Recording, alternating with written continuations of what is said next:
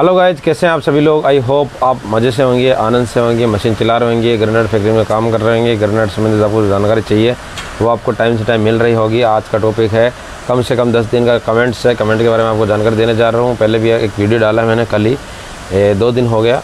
तो उस वीडियो को आप जाके देखना। उसमें मैंने लगभग लगभग पूरा कोशिश किया है सारे कमेंट का जवाब देने का। लेकिन आपको अगर अधूरा जानकारी भी, है तो मैं आपको पूरा कमेंट का जानकारी यहाँ देने जा रहा हूँ। वीडियो में फ़र्स्ट टाइम आए तो वीडियो को लाइक कर देना, अपने दोस्तों के साथ शेयर कर देना और चैनल में फ़र्स्ट टाइम आए तो चैनल को सब्सक्राइब कर देना। तो हम चलते हैं वीडियो की और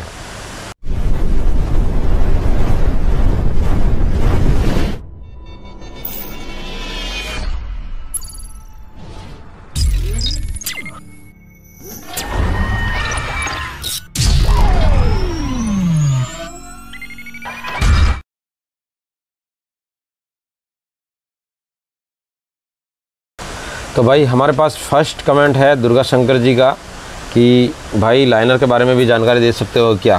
तो दुर्गा शंकर जी वही हैं जो हमारे साथ में रहते हैं। तो उन्होंने कमेंट किया था, वो अभी हमारे साथ में नहीं है, गाँव गए हैं तो शायद हो सकता है कि किसी के कहने पे क्या होगा या उनका भाई है तो उन्होंने किया होगा तो हम कमेंट का जानकारी दे सकते हैं। बिल्कुल लाइनर का जानकारी हम दे सकते हैं, ठीक है? दूसरा कमेंट हमारे पास आया था माई टी टी सेवन कुछ है और थैंक्स फॉर वन के का एक चैनल है, उन्होंने हमारे को एक भेजा था। आप देख सकते हैं स्क्रीनशॉट यहाँ पे डाल रखा हमने।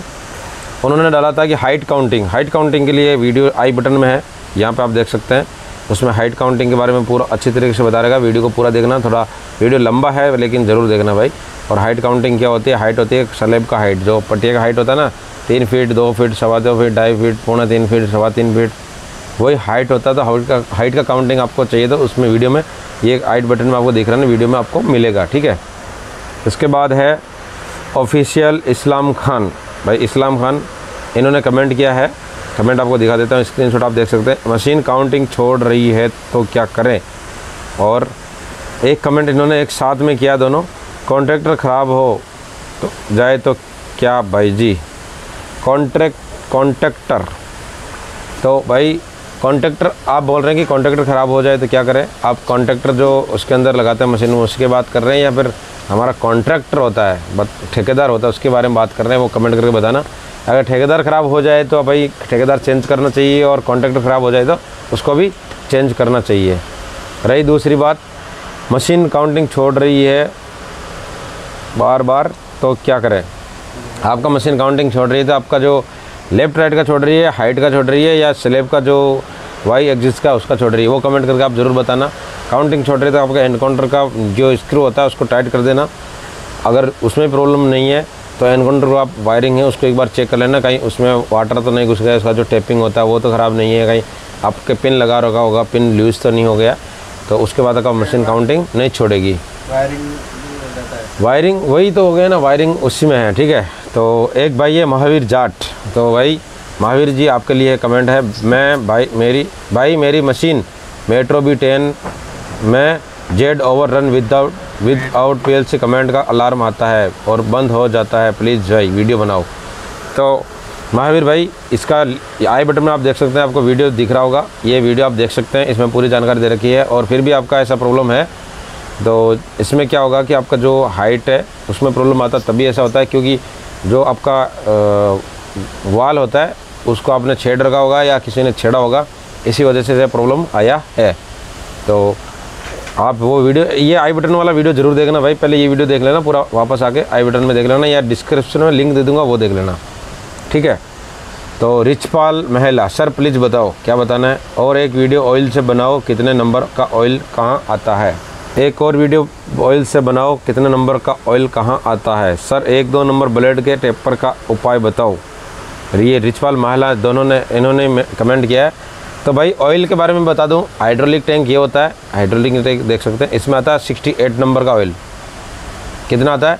68 नंबर का ऑयल और ये मशीन आप देख रहे हैं ना, ये यहाँ से लेके यहाँ तक। इसमें आता है आपका ट्वेंटी फोर्टी डाल सकते हैं या वन फोर्टी डाल। ज़्यादातर ट्वेंटी फोर्टी का ड्रम आता है, वही डालते हैं फ़र्स्ट टाइम में। उसके बाद रेगुलर वही चलता है। और गियर बॉक्स होता है, उसमें वन फोर्टी डालते हैं। अगर आपने पहले वन फोर्टी डाल रखा है तो वही डालना है। अगर वन ट्वेंटी फोर्टी डाल रखा है तो ट्वेंटी फोर्टी डालना है। एक बात का ध्यान रखना है हाइड्रोलिक टैंक में ऑयल सिर्फ़ 68 नंबर का ऑयल आएगा, दूसरा ऑयल आपको नहीं डालना है। ठीक है? ऐसा गलती ना करें कि आपने हाइड्रोलिक की जगह 140 या 2040 डाल दिया, ये गलत बात है। ये डाल दिया तो आपका मशीन जाम हो जाएगा, पूरा मशीन ख़राब हो जाएगा, पूरा सिलेंडर ख़त्म हो जाएगा। आपका मशीन का रिपेयरिंग आएगा, वो इतना महँगा होगा कि आप सोच भी नहीं सकते। तो ऐसा गलती ना करें, समझ में नहीं आए तो अपना सीनियर ऑपरेटर से बात करके उससे पूछे और उसके बाद ही ऑयल डालें और हाइड्रोलिक ऑयल का पहचान नहीं कर सकते तो बाल्टी के ऊपर लिखा रहता है, ये बकेट है, मैं कंपनी का प्रचार नहीं कर, इसके ऊपर लिखा है हाइड्रोलिक सिक्सटी एट नंबर ठीक है? उसके बाद है Karan Kumar ji R nine R. Karan Kumar ji, आपके लिए आपको बहुत बहुत धन्यवाद, आपने कमेंट किया। तो एक्स वाई जेड का वीडियो हमने बना रखा है आई बटन में आप देख सकते हैं। फिर भी आपको नहीं मालूम है एक्स वाला होता है डीसी का वाई का जो विथ होता है, चौड़ाई होता है, उसका ब्लॉक का और जेड का होता है हाइट का। तो इस वीडियो में मैंने आपका पूरा दिखा रखा है मशीन में एक्स वाई जेड का कहाँ होता है और एक्चुअल में कहाँ वो यूज़ होता है। तो आई बटन में मैंने वीडियो डाल रखा है वीडियो को जाके ज़रूर देखना भाई। उसके बाद है हमारा, भैया मेंटेनेंस का बताना, कहाँ, कौन सा ऑयल ग्रीस डालता है प्लीज़ तो भाई मैंने वीडियो बना रखा है, पहले भी बता रखा आपको, यहाँ पे लिंक है आई बटन में लिंक है, यहाँ पे मैं पाँच वीडियो से ज़्यादा नहीं डाल सकता, आपको डिस्क्रिप्शन में वीडियो मिलेगा, वो जाके आप ज़रूर देख लेना, उसमें आपको पूरा पूरा बताया हुआ है, और पहले भी आपको मैंने बताया भी तो वही हम यहाँ पर यूज़ करते हैं। भाई मुझे एफ़ फोर में साइज़ लेना बताओ, कैसे लेते हैं? तो इसका वीडियो मैं बना दूँगा भाई, माफ़ी चाहूँगा, अभी तो वीडियो बना रहा हूँ तो मैं लाइव नहीं दिखा सकता। इसका वीडियो मैं आपको जल्द से जल्द कमेंट में ही आपको बता दूँगा या फिर आपको एक वीडियो बना के डाल दूँगा, ठीक है? दिनेश कुमार जी, इन्होंने बोला था, ठीक है? हमारे यहाँ एक ये है, इनका कमेंट है और मुकेश भाई बेस्ट ऑफ़ लक क्या वॉइस दिया है? मज़ा आ गया। ठीक है, धन्यवाद भाई। अमित कुमार जी, आपका बहुत बहुत धन्यवाद। अजर अजर अजर अजर नाम है। सॉरी इतना इंग्लिश नहीं है मेरा। लेकिन मैं आपको बता दूँ इन्होंने जो कमेंट किया, चौदह ब्लेड का भगवती मशीन पावर जाने के बाद स्टार्ट करने का सही तरीका क्या है? स्टार्ट करने का सही तरीका मैं आपको पहले भी बता दूँ। कमेंट बॉक्स में सॉरी जो कमेंट बॉक्स है, उसमें आपको लिंक मिलेगा एक। वो जाके आप देखना। गर्मी बहुत है भाई।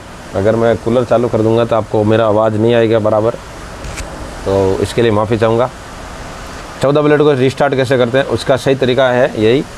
जैसे आपका करंट गया करंट जाने के टाइम में मशीन आपका लेफ़्ट राइट में आके रुका या राइट हैंड साइड में जाके रुका, ये आपको कंफर्म करना है।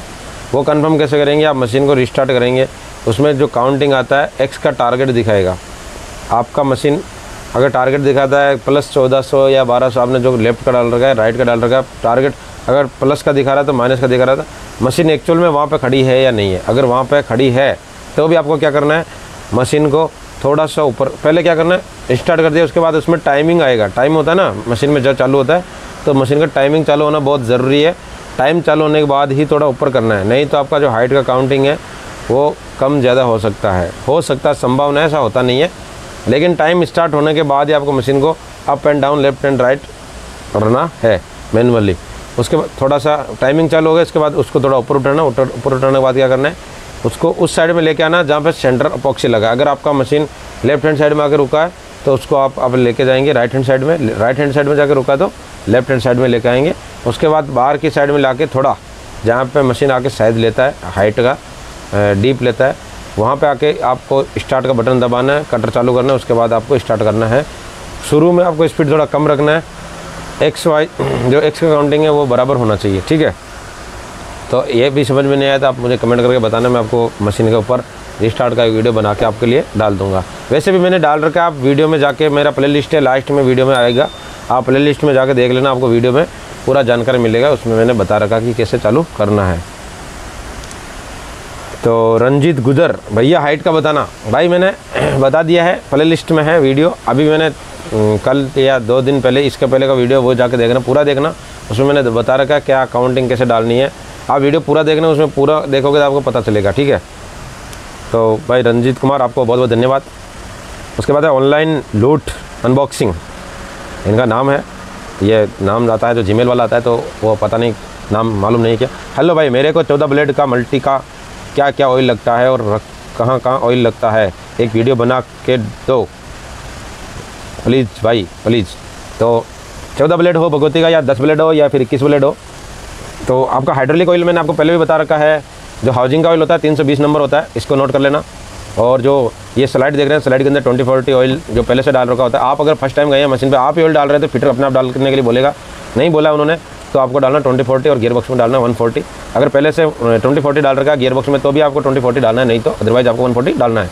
हाउसिंग का तीन सौ बीस से हाइड्रोलिक का एक मेन मुख्य ऑयल होता है, जो आपको सिक्सटी एट ऑयल डालना है, नहीं तो आपको, आपका मशीन ख़राब हो जाएगा सिक्सटी एट नंबर ही ऑयल आएगा उसके अंदर।